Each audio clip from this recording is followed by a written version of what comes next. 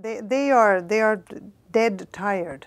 They are so tired of, of having to work so hard to, they carry sort of the heavy burdens. The women, they fetch firewood and water, they, they go to the market, they uh, grow things, they uh, are the ones who carry the children and take very much responsibility for, for the families. And if this is also done to them, um, they are just traumatized. They are they they feel very very tired and let down, and very often when they have been um, when they've been raped, uh, they are also rejected by their husbands and uh, by their families, and that means uh, also that they will have no no income and will be marginalized and stigmatized. Uh, so there are several problems following in the, the trades of, of sexual violence.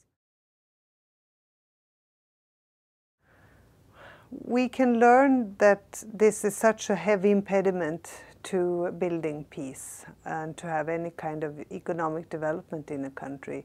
We can learn that this will affect a society for generations to come uh, we can learn that this has to be addressed now. It cannot wait, and it is um, through fighting impunity that uh, we can be effective in, in doing so.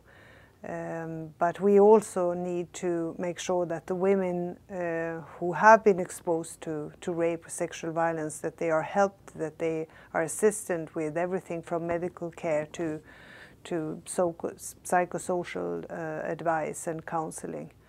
Um, so that's what we all have to, to uh, take responsibility for.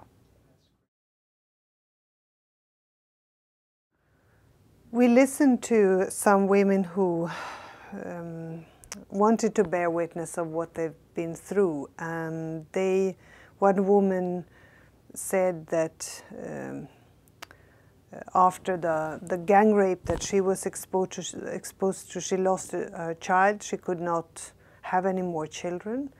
And um, she felt that her life was over. I mean, you, you kind of kill a person without taking their lives. Uh, and, uh, or the other way around, you, you uh, take their lives without killing them. Um, that, that was her feeling. And when we asked her what would be the normal, if this had not happened to you, what would be the normal relationship with your husband? And, and she didn't seem to understand the question. She said the, the life of a woman is to work. It's to work and to, to give uh, birth to children and then sort of please your husband or do whatever he tells you sexually at night. That's, that's the life of a woman and and there was sort of no joy, no love, no, no no, concept of what we would think was a dignified life, and that was very very depressing to to hear.